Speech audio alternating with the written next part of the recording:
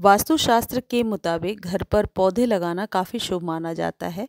पौधे लगाने से घर में पॉजिटिव एनर्जी रहती है, साथ ही साथ घर की आर्थिक स्थिति भी ठीक होती है। तो कुछ ऐसे पौधे हैं जो लकी पौधे होते हैं गुड लक प्लांट्स हैं, इन्हें आप फैब के शुरू में लगा सकते हैं, इन पौधों की कटिंग भी लग जाएगी और आप नर्सरी से भी ख़रीद कर ला सकते हैं। इनमें सबसे पहला पौधा है जेड का पौधा। जेड की तरह ही क्रैसुला का भी प्लांट होता है। जेड पर कंप्लीट वीडियो भी चैनल पर मैंने डाल दिया है, आप देख सकते हैं। इस पौधे को आप मेन एंट्रेंस पर लगा सकते हैं। ऐसी मान्यता है कि लक्ष्मी को आकर्षित करता है ये पौधा। इस पौधे के रख रखाव में भी ज़्यादा केयर करने की भी ज़रूरत नहीं पड़ती है। चूँकि इस पौधे को धन का प्रतीक माना जाता है, इसलिए इसे कभी भी गंदगी वाले स्थान पर ना लगाएँ।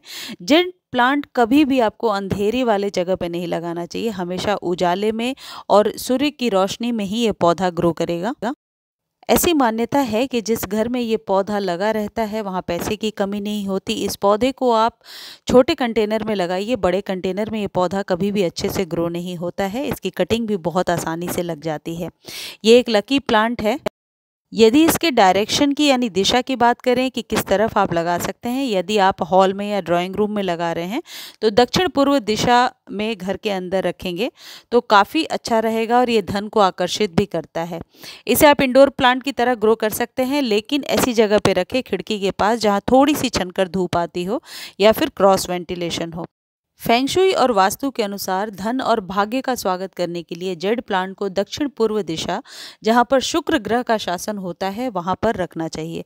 इस दिशा में रखा जेड प्लांट घर में धन वृद्धि कर सकता है, स्वास्थ्य, सद्भाव पॉजिटिव एनर्जी मानसिक शांति के लिए इस दिशा में आप रख सकते हैं। यदि इस दिशा में जगह नहीं है तो पूर्व की दिशा में भी आप रख सकते हैं।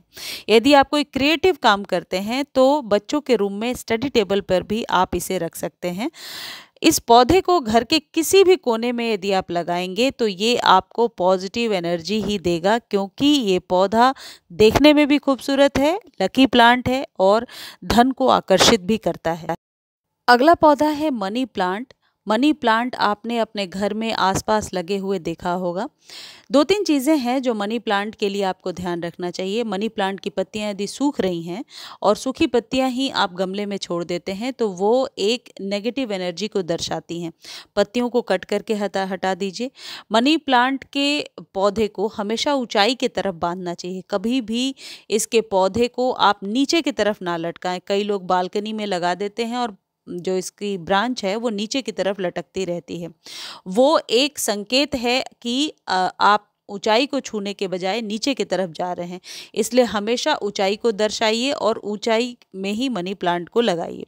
मनी प्लांट को घर में लगाना बहुत ही शुभ माना जाता है।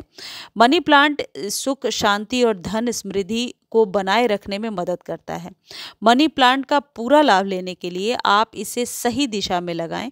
क्योंकि ये एक डेकोरेटिव प्लांट की तरह हम अपने घर में या ड्राइंग रूम में या लिविंग रूम में लगाते हैं तो इसके पत्तियों का साफ़ सुथरा होना बहुत ज़रूरी है।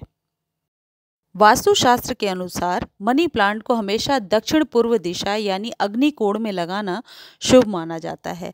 इस पौधे को शुक्र ग्रह का प्रतीक माना जाता है और इस दिशा में भगवान गणेश का वास होता है, इसलिए इस दिशा में मनी प्लांट लगाने से घर में सुख, शांति की वृद्धि होती है। ये जो पौधा दिख रहा है, ये स्नैक प्लांट था। स्नैक प्लांट पर कंप्लीट वीडियो कल ही मैंने चैनल पर डाला है, आप देख सकते हैं कि किस दिशा में लगाना है और किस तरीके से केयर करनी है। स्नैक प्लांट एक एयर प्योरीफाइंग प्लांट है। ये घर में नेगेटिव एनर्जी को या यूँ कह सकते हैं कि आपके आसपास मौजूद विषैले गैसों को सोखता है और आपके वातावरण में एक पॉजिटिव एनर्जी देता है। ये है तुलसी का पौधा, बहुत ही कॉमन हाउस प्लांट है। सब लोग अपने घर में लगाते हैं। वैसे भी सूर्य को मज़बूत करने के लिए तुलसी जी में जल देना बहुत ही अच्छा होता है। तो आपके भी तुलसी के ऊपर यदि इस तरीके से मंजरियाँ निकल आई हैं तो इन्हें ज़रूर हटा दीजिए। तुलसी के पौधे को हमेशा उत्तर पूर्व दिशा में लगाना चाहिए। इस दिशा में तुलसी का पौधा लगाने से घर की नेगेटिव एनर्जी यानी नकारात्मक ऊर्जा दूर होती है और घर में पॉजिटिविटी बढ़ती है। इस दिशा में तुलसी का पौधा नहीं लगाएँ, यानी दक्षिण पूर्व दिशा में तुलसी का पौधा लगाना शुभ नहीं माना जाता है। दक्षिण यानी साउथ और पूर्व यानी कि ईस्ट।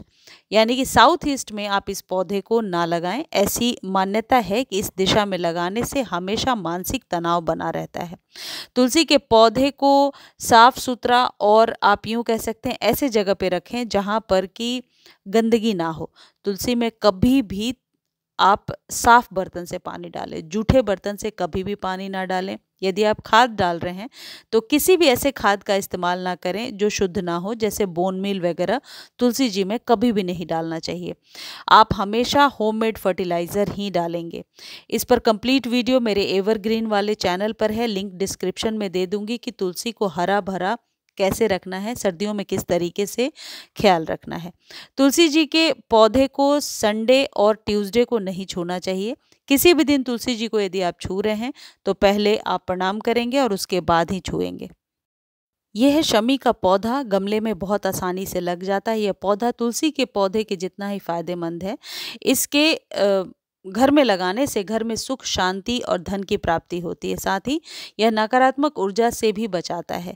यदि किसी की शनि खराब है या साढ़े साथी ढैया है तो शमी के पौधे के नीचे आप शाम के समय सरसों के तेल का दिया जला सकते हैं, जिससे कि आपको इसमें राहत होगी। इस विषय में आप जानकारी भी ले सकते हैं। अगला पौधा है एलोवेरा का पौधा। ऐसी मान्यता है कि एलोवेरा लक्ष्मी का प्रतीक है। एलोवेरा को अपने घर में ज़रूर लगाना चाहिए। एलोवेरा बहुत जल्दी बढ़त ले लेता है, नीचे से नई शूट्स निकालता है। एलोवेरा के और भी बहुत सारे फ़ायदे हैं। इसलिए एलोवेरा आप अपने घर में ज़रूर लगाएँ। धन्यवाद।